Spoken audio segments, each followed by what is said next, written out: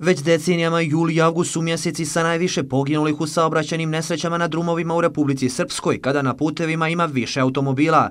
Za devet mjeseci ove godine život u saobraćaju je izgubilo 77 lica, od čega nažalost čak 28 osoba u julu i avgustu. Cilj je e, da se smanji broj saobraćajnih nezgoda ispod 100 poginulih u toku godine. E, prošle godine na putema Republike Srpske je poginulo 101 lice i taj trend e, tokom ove godine imamo znači e, smanjenje broja e, smrtno stradalih.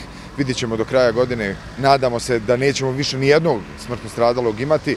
Banja Lučanin Zoran Vujnu saobraćajnoj nezgodi 1998. teško je povrijedio kičmu i vrat i od tada je nepokretan. Kaže da mu je želja da sobstvenim primjerom i kroz projekat kad se život preokrene upozori mlade, ali i druge vozače na opasnosti nepažljive vožnje da im ukaže da treba da poštoju saobraćajna pravila, vežu pojas i smanje brzinu. Naravno što u prvim godinama poslije saobraćajne nezgode čovjek se uvijek zapita da li je moglo biti drugačije i zašto nisam na neki način bio odgovorniji prema sebi. Pokušamo da utičemo na njih da ne ponovljaju naše greške.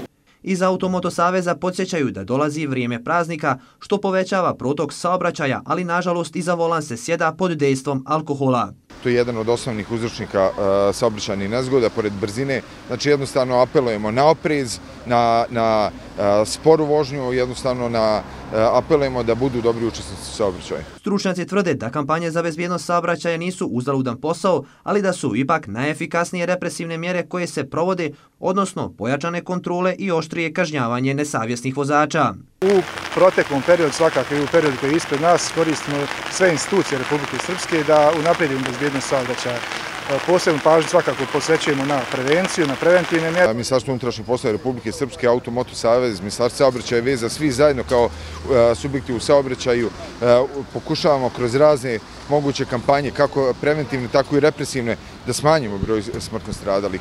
Svjetski dan sjećanja na žrtve saobraćenih nezgoda obilježava se svake treće nedjelje u novembru.